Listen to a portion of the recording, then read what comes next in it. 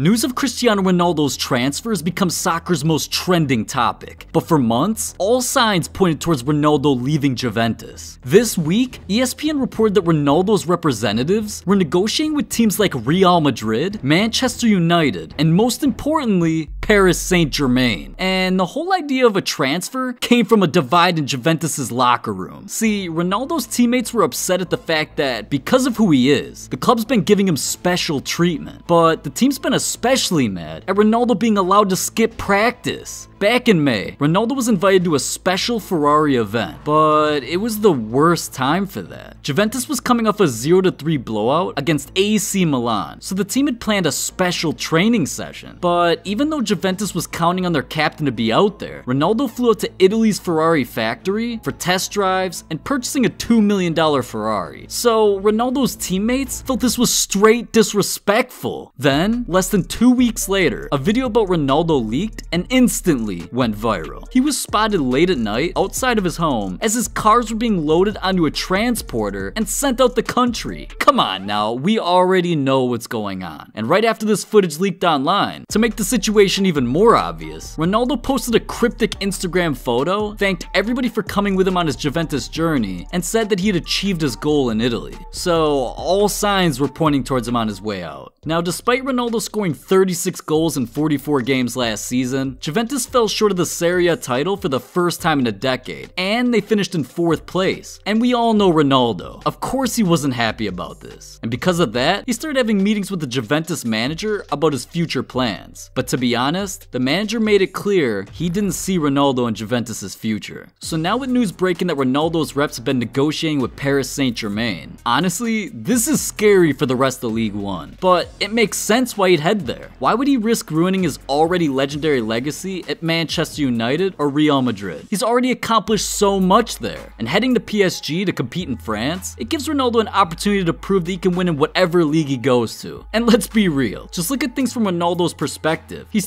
36 years old, at the tail end of his career, but of course, you know, he is still a superstar, but just imagine playing an attack with Neymar and Mbappe. You can't turn that down. You just can't. That's more than a super team. They'd be the best in the world. So yeah, it gives Ronaldo plenty of opportunity to continue setting records, winning titles, and conclude his legendary career the right way. But honestly, the real question is, can PSG really afford all three of these superstars? This year, Ronaldo's still under contract and set to make $38 million. So adding that into Neymar's salary that cost 36 million and Mbappe's 22 million is ridiculous. But to be fair, Mbappe has been turning down contract extensions. And to be honest, I'm thinking he knows something that we don't. He's realized that waiting it out and taking a pay cut could create something legendary. And recently some news broke that made that seem very realistic. PSG's CEO, he actually came out and let the world know that Mbappe is not being transferred and not leaving for free. So what else could that mean? Now I don't know about you guys, guys, but I think something big's about to happen. And honestly, I can't wait. All three of these guys are some of the top soccer players in the entire world. So combining them all on one team would be one of the, if not the scariest transfer in history. But honestly, I want to know, if you were Ronaldo, what would you do? Are you joining other stars and forming a super team? Or would you head to another organization and prove you can still win on your own? You already know what I would do.